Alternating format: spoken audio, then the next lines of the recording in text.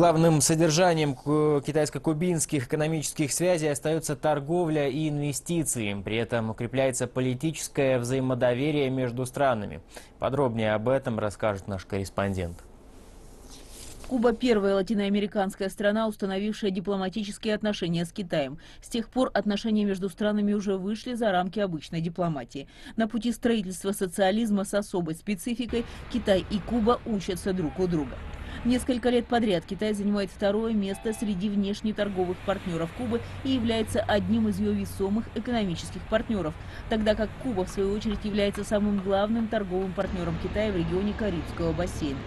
В последние годы Китай добился нового прогресса в сферах инвестиций и подрядного строительства на Кубе и постепенно расширял проекты сотрудничества в таких областях, как реконструкция портов, развитие туризма, строительство промышленной инфраструктуры. В прошлом году объем двусторонней торговли превысил 2 миллиарда долларов, что почти на 60% больше, чем годом ранее. В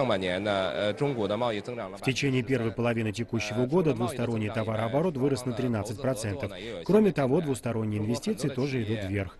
Многие китайские компании предпочитают инвестировать в зеленую энергетику, производство и сельское хозяйство на Кубе. Экономики двух стран являются взаимодополняющими, и я верю, что у нас огромные возможности для сотрудничества в будущем. Прошлом месяце стороны уже встречались в Гаване, где договорились прикладывать больше усилий для совершенствования торговли и инвестиций.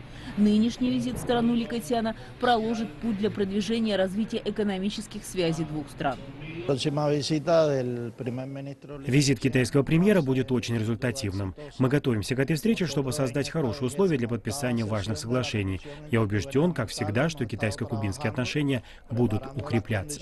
Всего планируется подписание около 30 соглашений, охватывающих широкий спектр направлений в областях технологий, финансирования и промышленной кооперации. Татьяна Климова, CCTV.